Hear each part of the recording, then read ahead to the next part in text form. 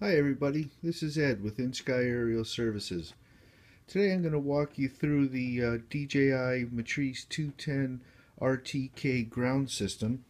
Here you see we have our Pelican 1400 case and you'll see that the ground system fits in here rather nicely uh, with the pick and pluck foam. So let's take out the ground system and our antenna and let's go through this and show you what we have.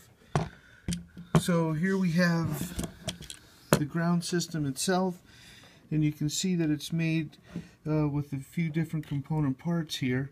Um, first we have our Datalink Pro 900 module which is mounted on the top and beneath that is our DRTK module and we have our antenna which mounts on the side here you know, a simple Titan antenna, threads on here, flip it up 90 degrees. We have power inputs here uh, coming from the cradle into the DRTK module. And then on the data link, we have our status indicator light here, and we have a linking button.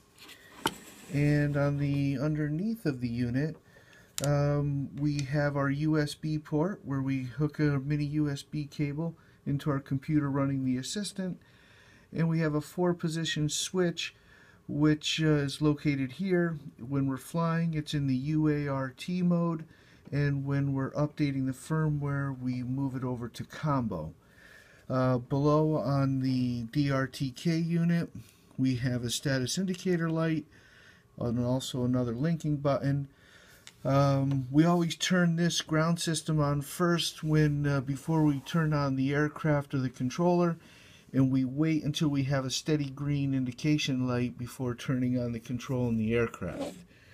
Um, you'll notice here on the side uh, we have our antenna, our DRTK antenna on a nice little mast that slides up and has a threaded knob and locks in place.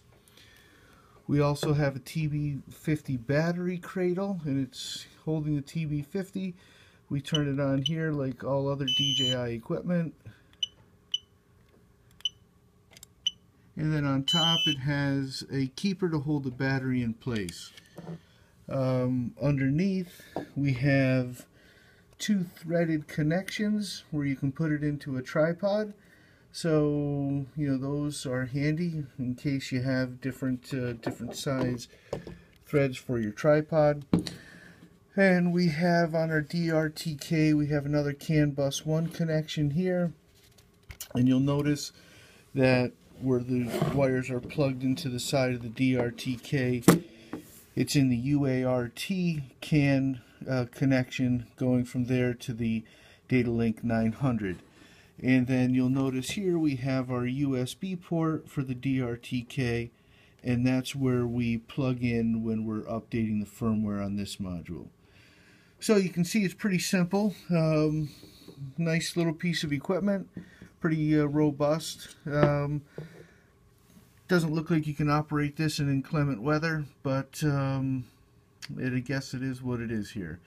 So thanks for watching and make sure you take a look at the other videos that we have describing updating the firmware of the uh, other components. This is Ed with InSky Aerial Services and we'll see you in the next video.